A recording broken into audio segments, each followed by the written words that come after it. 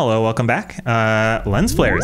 Yeah, today we're going to talk about them because uh, they're super important if you want your renders to look realistic, and they're one of the best ways to add that like cinematic vibe to your renders. In this video, I'm going to go into why they're important, and if you guys feel like sticking around, I'm going to share some like dead simple free lens flare node groups that you can just plop into the Blender compositor. I modeled them after real cinematic lenses, so they look great, and you don't need to know what you're doing. They just like kind of work automatically. And if you just want the lens flares, they're down there, you vultures. So what are lens flares? You probably already know this, but lenses work by taking in light and refracting it through a bunch of glass pieces so that it focuses on a digital film sensor or film in the back of the camera. However, no glass is perfect, and a small part of that light, instead of going through all the glass pieces, is reflected and bounced off of uh, the glass pieces inside and just kind of keeps bouncing around until it finally gets to the sensor. Normally, you can't see those reflections because the light is relatively dim, but if we're talking about a light source like the sun, which is thousands of times brighter than the shady spot in the scene, then you're going to notice those internal reflections from that particular point where the sun is. In fact, the lenses in your own eyeballs add artifacts to literally everything you've ever seen. If you go for a walk on a dark night and look up into a street lamp, there's gonna be some glare.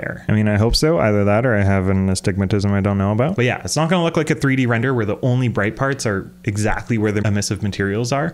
Um, it should look kind of like this. So if not a single human being has ever looked at a street lamp without it glaring into their eyes, why are we posting renders without glare on the street lamps? Webcams, iPhones, DSLRs, uh, cinema cameras, even your eyeballs, as I talked about, all produce lens flares of some sort. If we take a close look at the camera in our Blender scene, you'll notice it looks a little bit different than say this camera right here. There are a few differences, believe it or not. Can you tell? Can you tell me what they are? Probably the biggest one is that the Blender camera doesn't actually have any physical glass in front of it. There's no way for bright light to flare out and capture all those realistic imperfections that literally every other way of capturing a 3D scene has like baked into it. And so if you want your renders to look like they were shot with a real camera, we gotta fake that. Which of course leads me to uh, easy lens flares. Um, these are the procedural lens flares that I made for the Blender compositor. Uh, and this is the blend file specifically that uh, you can download in the description. Yeah, I'm just gonna get into rendered mode here and the viewport compositor should be on. Yeah, so yeah, we've got four lens flares here. Um, for all of them, I referenced real cinematic lenses, mostly from this video by Pastamat. Thank you, Pastamat. So this first one is the Cooke anamorphic lens flare. This one's really good for like sci-fi scenes. You can just like crank the flare strength and uh, yeah, just get those huge, wide, kind of blurry flares going on. Or if you want, you can dial it back and just kind of give your give your scenes a bit more of a realistic, down to earth cinematic vibe. Only barely noticeable. Have it like there or something like that. People will feel it more than notice it. And then next is the Minolta 50 millimeter. This one's the most subdued of the bunch. Uh, there's some nice halos that uh, recede once the light source gets to the middle of the of the flare. Um, it just kind of adds a little bit more movement when the, the light is going around. I'd use this one probably for like daylight shots, just to add like a little bit of haze and a little bit of that flare effect, but uh, nothing too crazy, you know? All right, and the third one is the Super Takumar. Let's pop it in there.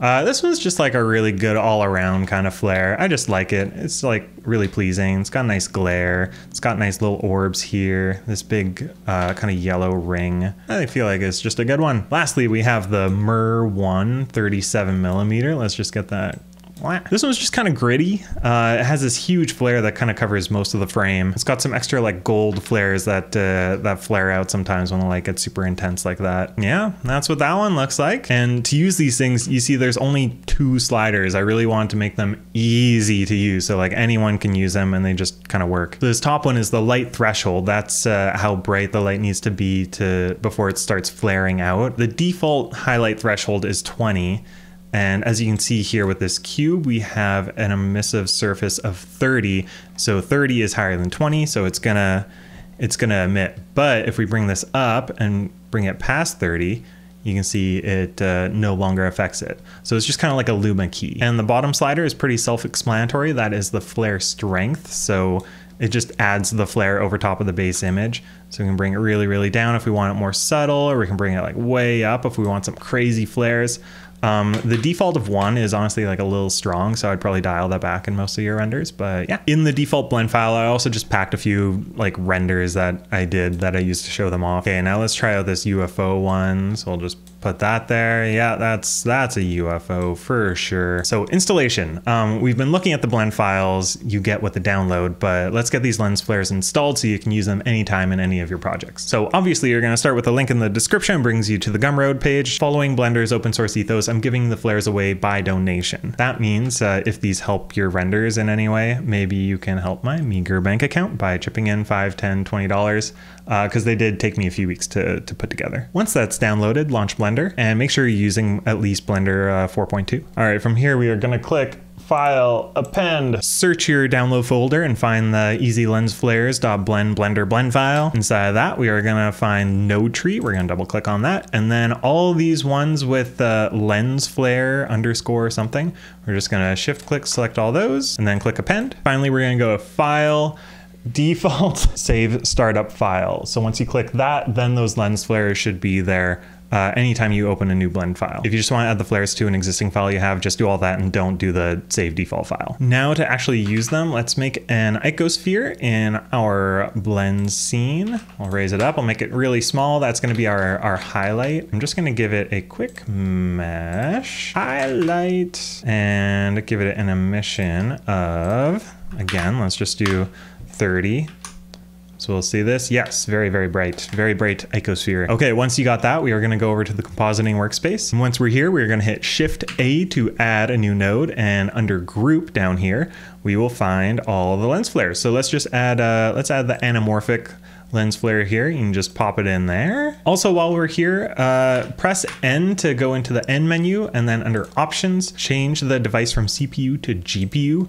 That'll just make your renders render in like a second instead of a full minute. And that's why we're using Blender 4.2 because it makes these renders actually viable. It doesn't add an extra like minute or two to your renders for every frame. And yeah, now we should be basically good to go. If we will go back to the layout tab to our 3D viewport, um, if we're in rendered mode here, we can click the drop down and the viewport compositor we can put on always, and we should see our lens flare. And if we want to render this, just uh, center up the camera. I'm using Control Alt Zero to, to do that. And then I'm going to press F12 to render. It'll render, take a second, and then it'll composite. There we go easy easy peasy. And yeah that is basically it. Um, there's just a few like best practices i guess i want to go over. So yeah the first thing you got to know is they only work with like real emissive things that the camera can actually see. They don't work with normal blender lights. Yeah if i make a blender light uh, a little point light here i'll throw it here. Let's turn it up to like 90 million. Well if i uh, if i center just the light you don't see anything um, and that's because the lights don't actually emit any light rays into the camera; they just reflect off of things. So you're going to see a uh, you're going to see lens flares off this super super bright cube because it's being emitted by the sun, basically. That's why I added the little icosphere in the scene because we need something that's actually bright that we can see for the compositing trick to take effect. A little tip: if you don't want your emissive icosphere to affect anything else in the scene, all you got to do is go down to the object properties. This little uh, box here and under visibility,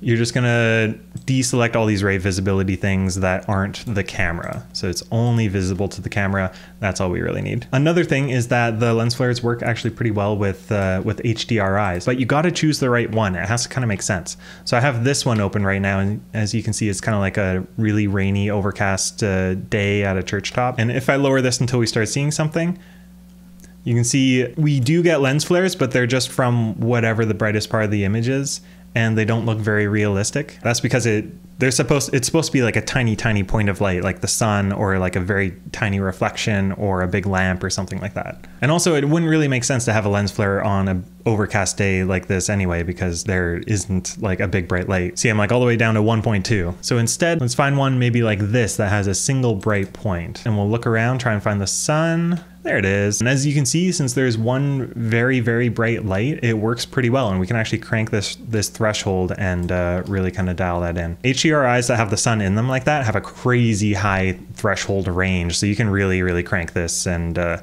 maybe not that high, I guess. Something you can kind of do with these is uh, when the sun is obscured by an object in front of it, you can kind of see there's like a bit of an like that animation. Oh, the bright light is whoa, and like all the all these kind of orbs like they get smaller and then bigger. Yeah, I just think that's kind of cool. Yeah, another thing you can do is um, in certain scenes, some parts of the lens flare don't really come through that well. So if you want, you can click on the node group, press tab to go see the inner workings of it. The way I made it, it's like pretty basic, honestly. You just like have all the individual elements and then I have them going into a big mixer at the end here. If you want more green mirror streaks, because you can't really see them that well, you just crank them up and you can see that part got a little bit brighter. I kind of use my own terminology here, but you can probably use trial and error to figure it out. So all in all, um, I'm really happy with these lens flares. I'm really happy to share them with you guys. I've been wanting to make a pack of these for myself anyway for like a million years. But you probably should know a couple of their limitations because there there definitely are a few. So yeah, if you look at reference of real lens flares, you'll notice that the flare starts before the light source even enters the lens's view. However, with these flares, since they all happen in the compositor, the camera has to be looking at a bright light source for them to trigger. What I'm saying is they're limited to the screen space. If you wanted to counteract this and get technically a little bit more of a realistic lens flare, you could render at a higher resolution and a wider camera angle. Another thing, just with the way that light works in Blender, these flares don't really do well with like moving far away to close to the light source. The size of the light source really affects kind of how much light energy is in there. So you can see if as we get closer, it just kind of gets like more and more and more and so intense. And then if we get further away, it just gets like a lot smaller until it just kind of like goes away. But honestly, other than that, I really don't think there's too much wrong with them. Um, if you have a decent system, they work pretty well in real time in the viewport compositor, as I have been showing you. Um, and they're really good for previewing your work in Eevee to make them look even cooler. So yeah, if this video or these flares helped you out in any way, uh, maybe give me a like and subscribe. Uh, if you want, throw a comment down there. Tell me what you're working on. I like knowing what you guys are doing. Also, if you guys are into any of the more like ethical uh, social media sites, I am on Mastodon and PeerTube at uh, mastodon.art and makertube.net respectively. So you can go find me at those places as well. And yeah, I hope you guys like the flares and get some good use out of them.